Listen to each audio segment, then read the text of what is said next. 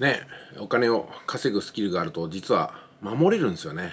なんかあれですよね Facebook とか SNS やっててこんなことがありますよね。なんか友達を承認したりとかフォロワーさんがね新しくなった瞬間に向こうからそのセールスのメッセージが来て毎月60万稼いでます。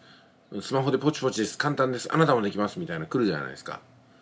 いやあれ一生懸命やってる方に私返信したことがあるんですよ。ちょっと詳しく話聞かせてもらえませんか。いやそもそもこんな方法でうまくいかないですよ。しかも嫌われるの分かってるじゃないですか。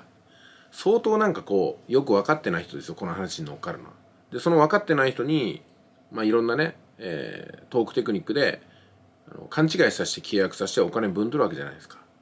これ後味悪くないですかって。しかもその分かってない人が錯誤で契約してるわけだから、うん、これ二重三重にやばいですよみたいなね。それよりもまともに集客する方法を私知ってるんで教えましょうかとか。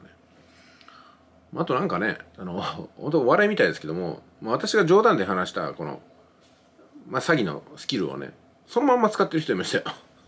で私のところに来たんですよそれが。たまたま。なんかいろんな人を介してね。でやってきたんでこれ俺が考えたやつそう使うなよみたいな。うん、なんかこう稼ぐスキルっていうのはそのまま守れるなっていうのはそうだし集客が下手な人ってあれをやりますよね。なんかダイレクトメッセージいきなり人間関係できてないのにさっきフォローしたばっかりなのにいきなりね、うん、ご覧いただきましてありがとうございます。フォローも感謝ですみたいなね。でなんか頑張る頑張っていきましょう。あの頑張るがなんか顔張るって書いてあってね。なんだこれはみたいなね。忘年会がなんかね望みって書いてね。希望の棒って書いて忘年会とかね。何でしょうかみたいな。意識高いんですねやっぱりね。いってらっしゃい。